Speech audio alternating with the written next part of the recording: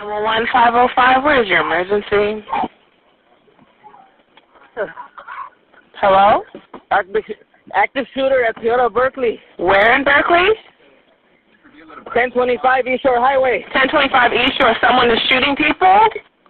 Yes, he's on up upstairs. Okay. Okay, he fired some shots? He's. Get the building. Get the in. Sir, can you give me a description of this person? This is Love Hurts. Don't forget to like, subscribe, and hit that notification bell for future content. 24 year old Alonna Gallon was beautiful. She was sweet, caring, and shy. If you were lucky enough to really get to know Alonna, you would see that she also had a goofy side. She was extremely quiet, but she had a million dollar smile. She was always smiling, showing off those beautiful deep set dimples. Alonna was a mother. She had one son, seven year old King. She was 16 when she found out she would be a mother, 17 when she had him. And although she was young, from the day she found out she was pregnant, she vowed to be the very best mother that she could be. And that's exactly what she was an excellent mother. King was her best friend, and everything she did was for him. Alonna held down three jobs to support her son. She was working at a Toyota dealership service center, she was also working at a car rental place, and she was working at a grocery store. She was really out here getting to the coin for her baby. All she ever wanted was to give him a good life and send her baby off to college one day. She was working hard to make sure that that happened. King's father was 24 year old Lamar Walker, and although he and Alonna tried to make their relationship work for many years, eventually Alonna got tired of putting up with his reckless behavior and she called it quits. All she wanted from Lamar at this point was a healthy co parenting relationship. But Lamar did not take the breakup well at all. He wanted Alonna back. He didn't want to be a co parent, he wanted to be a family. And the fact that Alonna didn't want that with him turned him into a bitter baby daddy. It seemed like he was dead set on making the co parenting relationship as difficult as possible, and Alonna knew it. In a social media post, Alonna wrote, My biggest regret is having a kid by the person I had a kid by, but that L is a lesson. She knew Lamar was trying to make her life a living hell, and she knew establishing any type of healthy co-parenting relationship would be an uphill battle. But nobody expected things to turn out the way that they did on September 21st of 2023. 911 505, where is your emergency? Hello? Active, active shooter at Toyota Berkeley. Where in Berkeley? 1025 East Shore Highway. 1025 East Shore. Someone is shooting people? Yes, he's on up upstairs. Second Okay. Okay, he fired some shots? He's. Hey, get the doors in. Get the doors in. Sir, can you give me a description of this person? It was a Thursday, and Alonna had work at the Toyota dealership. She began her shift as normal. Nothing seemed out of the ordinary until about 11:15 when Lamar comes walking through the front door. Police say he and Alonna were in a custody disagreement, but no one knows exactly what the specifics of the disagreement were. What we do know is Lamar casually walks to Alonna's desk.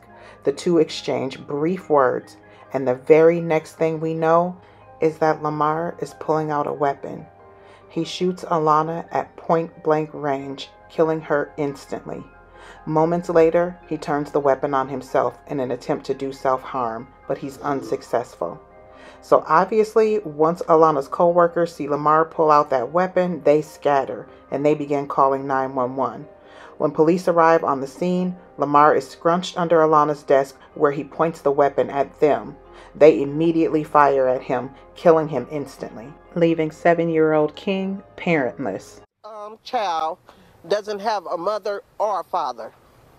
And that's saddening for me, for real.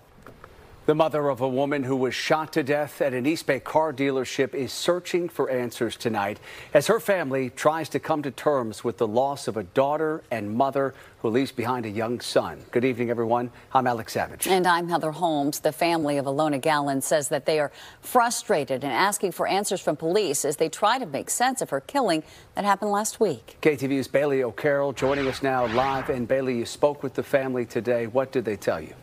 That's right, uh, Heather and Alex. The family told me they are in shock and sad that 24 year old Alonna Gallon was killed in what they say was a senseless shooting. They told me that they're also frustrated by the lack of answers police have given them.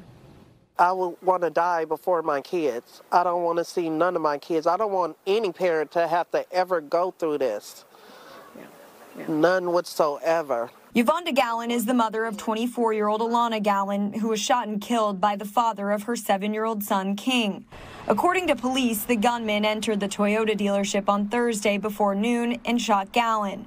When police arrived, they shot and killed the suspect. But Gallon says right now there's more questions than answers. Everything was, I don't know, I don't know. We don't have all the information. Gallon said her daughter loved life, but said her priority was her son her seven year old um, child doesn't have a mother or a father.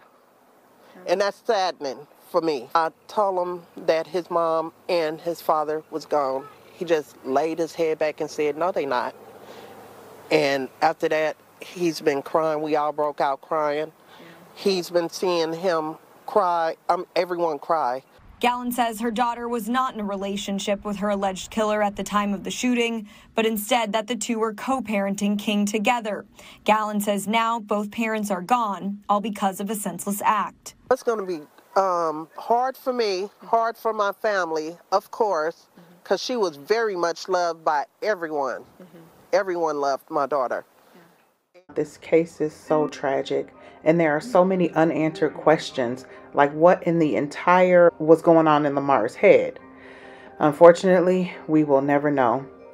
He put on this facade like he was so concerned about his son and his son's well being, when really he was only worried about Alonna and controlling Alonna.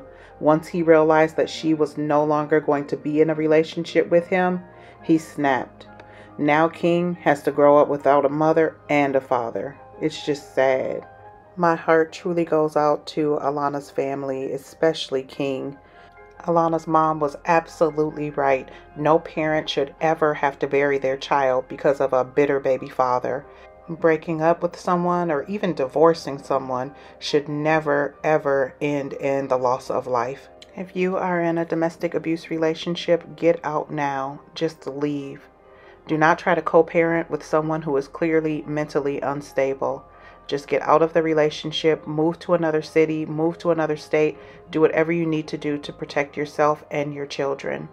As always, loves, stay safe and don't forget to like, subscribe, and hit that notification bell for future content.